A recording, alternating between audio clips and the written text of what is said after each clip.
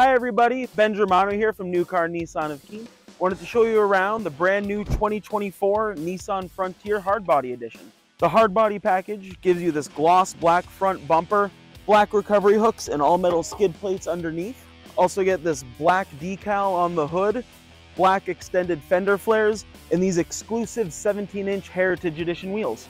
Also get black mirror caps, black door handles, this awesome 4x4 decal, and these all metal rock rails down at the bottom to replace your side steps. Coming around the back, you get this matte black sport bar, gloss black rear bumper, exclusive Nissan tailgate decals, and in the back here, you also get the full towing package, dampened and easy open tailgate, spray and bed liner with 120 volt power outlet, Utilitrack system, and extra cargo lights.